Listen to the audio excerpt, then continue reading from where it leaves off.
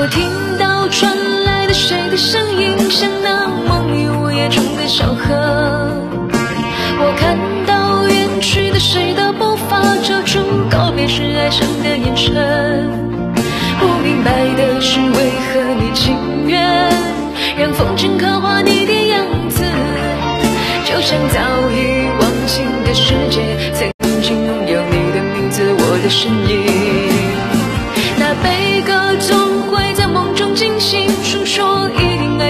的往事。那看似满不在乎转过身的，是风干泪眼后萧瑟的影子。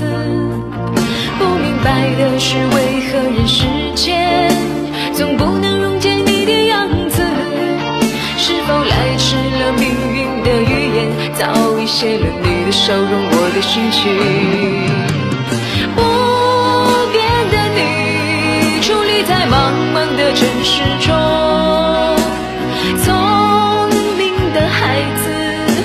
着心爱的灯笼，潇洒的你，将心事化进尘缘中，孤独的孩子，你是骄傲。